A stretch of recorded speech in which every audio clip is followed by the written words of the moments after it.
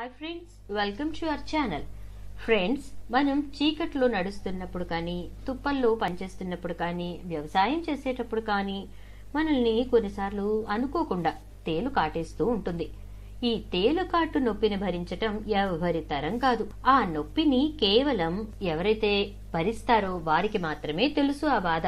ఈ తేలుకాటు విషయానికి గిరిజనులు ఎటువంటి మొక్కలు ఉపయోగించి ఈ తేలుకాటు విషయాన్ని మొత్తం పూర్తిగా తగ్గిస్తారో ఆ నొప్పి కూడా పూర్తిగా తగ్గిపోవాలంటే వాళ్ళు ఎటువంటి మొక్కలను ఉపయోగిస్తారో ఇప్పుడు తెలుసుకుందాం.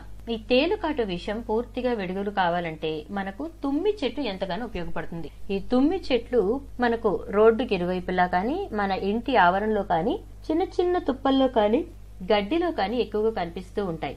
ఈ తుమ్మి మొక్కకు ఆయుర్వేదంలో మహోన్నత స్థానం ఉంది గ్రామస్తులు మరియు గిరిజనులు ఈ తుమ్మి మొక్కను ఉపయోగించి తేలు కాటుకి పాము కాటుకి విరుగుడుగా వాడతారు. అంతేకాకుండా ఈ తుమ్మి పూలతో శివుణ్ణి ఆరాధిస్తే కోరిక కోరికలు తీరుతాయని భక్తులు నమ్ముతూ ఉంటారు.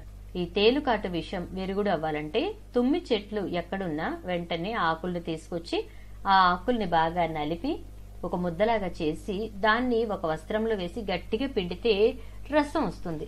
ఆ రసాన్ని తీసుకెళ్ళి సమానంగా తేనె కలిపి ఈ తేలుకాటు నొప్పితో బాధపడుతున్న వారికి ఈ తేనె మరియు పసరును కలిపిన దీనిని కొద్దిగా తాపించండి అలాగే కొన్ని ఆకుల్ని తీసుకొని బాగా దంచి ముద్దగా చేసి ఈ తేలు ఎక్కడైతే కుట్టిందో అక్కడ ఈ ముద్దని పెట్టి అదిమి పెట్టి ఉంచాలి.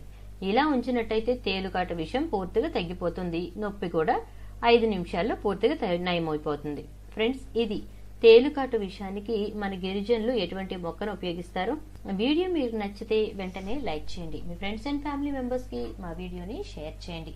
మా ఛానల్ని ఇప్పుడే చూస్తున్నట్లయితే వెంటనే మీరు ఛానల్ని సబ్స్క్రైబ్ చేసుకోండి. Hi friend.